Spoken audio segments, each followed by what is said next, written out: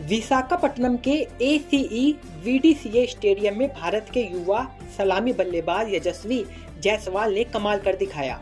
जायसवाल की जितनी तारीफ़ की जाए, उतनी कम है। उन्होंने 22 साल की उम्र में जो कारनामा किया, वो अच्छे अच्छे खिलाड़ी नहीं कर पाते।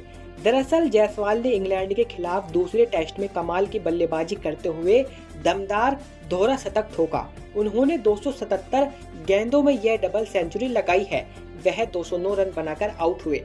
वहीं यशस्वी ने अपने इस दोहरे शतक से तमाम रिकॉर्ड भी ध्वस्त कर दिए। आइए आपको बताते हैं। दरअसल यशस्वी जायसवाल भारतीय सरजमी पर टेस्ट में दोहरा शतक जड़ाने वाले सबसे युवा सलामी ओपनर बन गए हैं। उन्होंने यह कारनामा 22 साल और सैतीस दिनों में कर दिखाया है। भारत के लिए टेस्ट में दोहरा शतक लगाने वाले खिलाड़ियों के लिस्ट में सबसे ऊपर विनोद काम्बली के नाम है। उन्होंने उन्नीस सौ तिरानवे में 21 साल और 35 रन की उम्र में यह कारनामा इंग्लैंड के खिलाफ किया था। जायसवाल का नाम भी इस लिस्ट में जुड़ा हुआ है। यशस्वी जायसवाल भारत के लिए टेस्ट में डबल सेंचुरी लगाने वाले चौथे बल्लेबाज बन गए। आपको बता दें, भारत के लिए अब तक टेस्ट क्रिकेट में कुल 24 खिलाड़ियों ने दोहरा शतक लगाया है।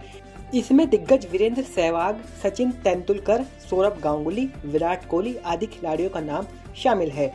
वहीं अब जायसवाल भारत के लिए टेस्ट में डबल सेंचुरी लगाने वाले पैंतीसवे खिलाड़ी बन गए हैं। लेकिन आप यशस्वी जायसवाल को लेकर क्या सोचते हैं, हमें कमेंट कर ज़रूर बताएँ। देखते रहिए जनहित टाइम्स।